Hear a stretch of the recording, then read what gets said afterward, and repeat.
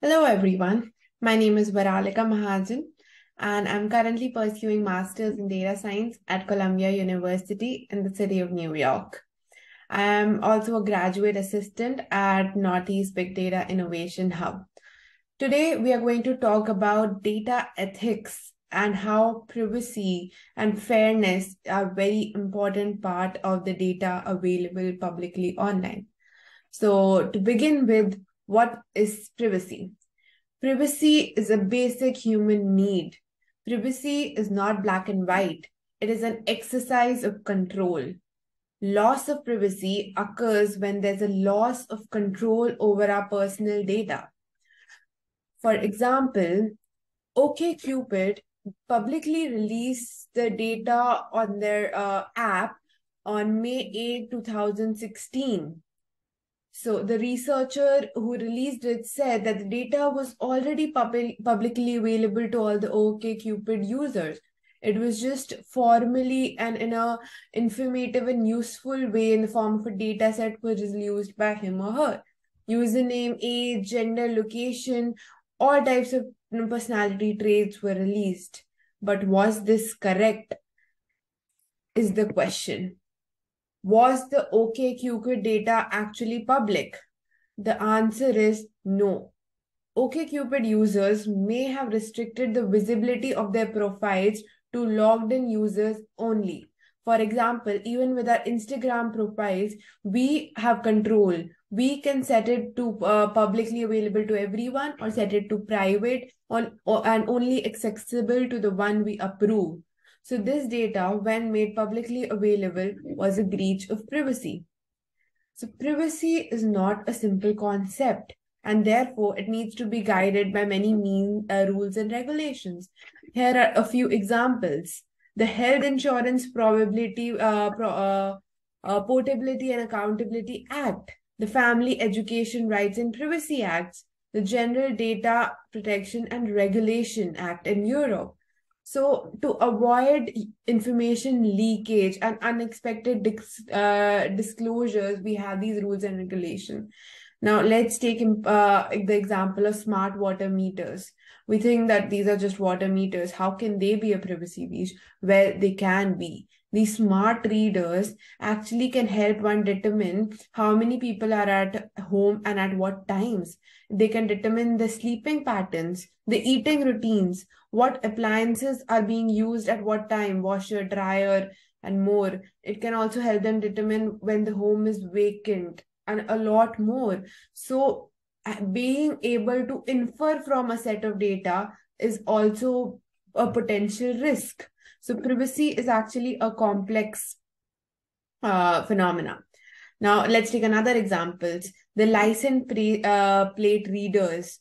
So cities are increasing using automated license plate readers technology. Camera systems are now installed at malls, train stations, airport, and even on the streets to detect uh, the card numbers who are breaking the rules. But this data again can help us identify the location of an individual at any given point of time. If not in the right hands, it is a data at risk. Obviously, it is good to fight the crime rate, but it is important that it is confidential. Apart from the loss of privacy to individuals, the information could be used for many different purposes, even for bad reasons. So understanding that is very important. So de-identification is a process used to counter that. For example, using an AOL user number of 4417749. Now, the mapping of what this number represent, which users is confidential. So even with this data being available online, one cannot figure out what who the person is, what's their name is, their phone number is, their address is. So this de-identification can help us, uh, but it needs to be done correctly. Even if an identifier such as license plate number is not involved, there are questions about how and whether data collected can be used to identify individuals so this this needs to be done very in a solidified way right For example, uh, in the Massachusetts re-identification incident, what happened was a medical data record was uh, released online publicly, which had the zip code, birth date, and sex to re- uh, real uh, sex. Now, this seemed like we are not giving out direct information about main phone number, who the medical record belongs to, but a person named as Latanya Sweeney used the zip code, birth rate, and sex to locate the health record of the then governor, William Weld. Now, this was a huge breach of privacy. His uh, diagnosis reports, prescriptions, everything was available publicly now. So, actually, this movement, this event also led to pivotal revisions in the HIPAA privacy rule to restrict disclosure of full birth, uh, birth date and zip codes under the safe harbor standards. So even de-identification needs to be done correctly, correctly because some data points can help us reach another, right? Or a group of data points. Now, another example of how data can be correlated from one uh, data point to another. Netflix in a prize competition revealed a data set where they de-identified their users. They just give their user IDs, date, movie name, and the rating given by the user for that uh, movie. Now, Netflix thought this data was anonymous and nobody could identify who the user was. But the problem was the sparsity in the data of Netflix. In Netflix data, no two profiles are more than 50% similar. If a Netflix profile is more than 50% similar to a profile in IMDb, then there is a high probability that the two profiles belong to the same person. IMDb made use of this and started inquiring the users identified and talking to them about the movies they had watched. Now, this was a big breach of data privacy. So with all of this came the que- uh, came bigger questions. The questions of how and whether data you release is safe, whether or not you can be identified using the release data, is a topic that has been well studied in the computer science community now one notion that has been formalized in this whole process is mm-hmm. differential privacy, whose goal is to provide as much statistical uh, information as possible from data stored in database while guaranteeing that an individual can be identified. What is differential privacy? Differential privacy ensures for example, that a person can contribute their genetic information into a medical database without the fear that anyone analyzing the database will be able to figure out which genetic information is, is his or hers. Or even when he, he or she has participated in the database at all this achieves the security guarantee in a way that allows the researchers to use database to make new discoveries Ideas from this research are now finding their way into practice. The US Census Bureau is actually using it. The Google in also in historic traffic statistics is using it. So differential privacy is a concept which is gaining uh, popularity and is the correct way to go about it. Now let's talk about the ethics surrounding algorithms. We use different algorithms to make future predictions with the current available data. Now, uh, making these future predictions come with high risks. Past population cannot be representative of the future. They can be overfit uh, for overfitting due to unrepresented data, which is a common thing that occurs. Training data can be unrepresentative of the whole class. So these are some of the algorithmic biases which can appear.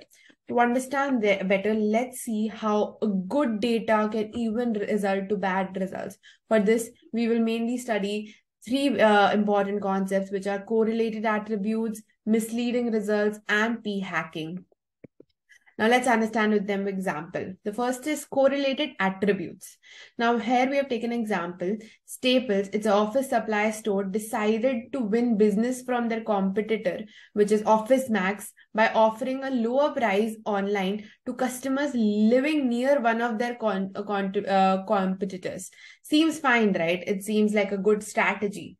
But what happened? The Office Max stores were actually located in the areas with higher income and not in rural or poor areas.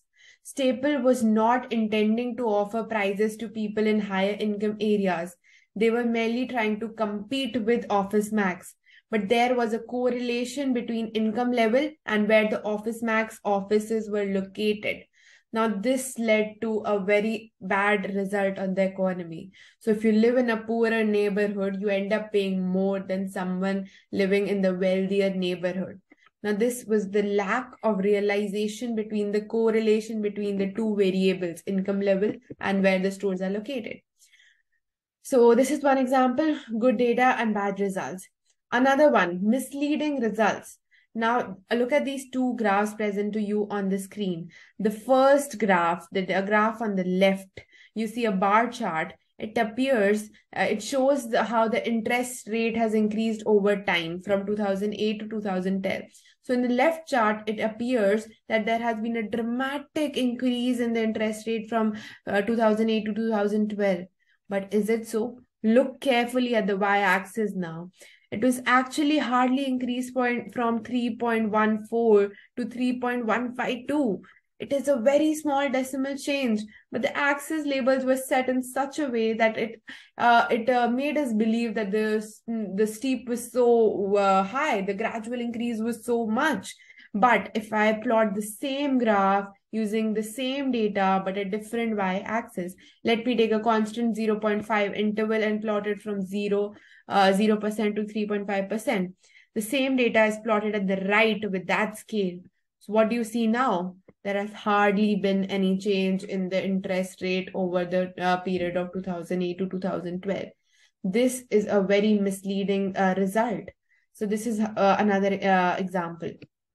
Let's go to another example of misleading results through a graph. In this figure, as you can see, the y-axis shows how different types of DBMS have changed in popularity. The important term is change in popularity. The lead, uh, so leading the viewer with the impression that the graph DBMS are the most popular. Now let's see. However, the relational DBMS, the one in the red, can you see at the bottom, have been around a long time and are very popular. However, their popularity has not changed significantly over the time period and they continue to command by far the largest share of all these systems in the market. The graphic is highly misleading since it leads you to believe that the relational DBMS are losing with respect to NoSQL system, but that is not the case. It's just a misleading axis label. Now, the third thing is p hacking. What let us first try to understand what is a p-value. P-value is used in context of null hypothesis testing in order to quantify the statistical significance of evidence. In null hypothesis testing, a claim is assumed to be valid if its counterclaim is improbable. P-hacking, which is also known as data fishing or data snooping, is a term coined in 2014 by Regina Nozo-Nager it is the misuse of data analytics to find patterns in data that can be presented as statistically insignificant, dramatically increasing and understating the risk of false positive. This is done by performing many statistical tests on the data and only reporting those that come back with significant results. Now, let's understand a very important uh, area, which is FAT. It is an emerging area. What does FAT stand for? Fairness, accountability, and transparency. Now, we will go step by step to understand. To give an overall view, algorithm systems contain inherent risks such as codifying and entrenching biases, reducing accountability, and hindering due process being able to quantify and reason about issues of fairness, accountability, and transparency, which is again related to re- uh, reproducibility, has emerged as an important research area as evidenced by the books and conference as well. The ACM Conference of Fairness, Accountability, and Transparency. This conference also uh, brings together a diverse community of researchers from computer science, law, social science, and much humanities, and many more backgrounds to come together and investigate and tackle issues related to FAT. In the next few slides, we'll see some examples. Now, fairness. FAT, the first term is fairness it is important that an algorithm is, has to be fair. For example, classifying people in ways that are consistent with common sense notions of fairness. For example, uh, let's take an example. We wouldn't think it's ethical for a bank to offer one set, uh, one set of lending terms to minority applicants and another to white applicants. But as recent work has shown, most notably in the book called Weapons of Math Destruction by the mathematician Cathy O'Neil, discrimination that we reject in normal life can creep into algorithms. Okay, now let us try to understand this a bit more with an example. Suppose you had a minority group in which smart students were steered towards maths and science. This is one group. Then we had another dominant group in which smart students were steered towards finance. Now, if someone wanted to write a quick and dirty classifying algorithm to find the smart students, they might look for students who study finance because the majority is much bigger than the minority. It is the dominant group. However, the problem is that not only is this unfair to the minority class, but it is it has also reduced the utility compared to classifier that understands that if you are a member of the minority and you study math, you should be viewed as similar to a member of the majority who studies finance. They are both smart students, right? So individual fairness is also not enough to ensure group fairness. For uh, let's take another example. Suppose you're looking at college admissions and you're thinking about using test scores as an admission criteria. If you have two groups that have very different performances on standardized tests, then you won't get group fairness if you have one threshold for the standardized test score. Different groups need to have different thresholds based on the level. So these are some things that uh, uh, discrimination against aggregate outcome and discrimination against individual that arise with them. Now let's see another example. Look at this picture present on the screen. Why is the uh, why is computer advice on parole controversial? So another very common example of algorithmic fairness are the algorithms frequently used in sentencing and parole, which generate a sco- uh, score predicting the likelihood of an individual committing a future crime. However, it is not clear the algorithms are predictive and they seem to show rate, racist disparities. For example, Pro, uh, Propublica obtained the risk scores assigned by one such algorithm to more than 7,000 people arrested in Broward County, Florida in 2013 and 2014 and checked to see how many were charged with new crimes over the next two years. They found that the scores were remarkably unreliable in forecasting the violent crime only 20% of the people predicted to commit violent crimes actually went on to do so. When a full range of crimes were taken into account, including misdemeanors such as driving with unexpired license, the algorithm was only somewhat more accurate than flipping a coin, which is hardly a 50%. They also discovered significant racial bias in the disparities.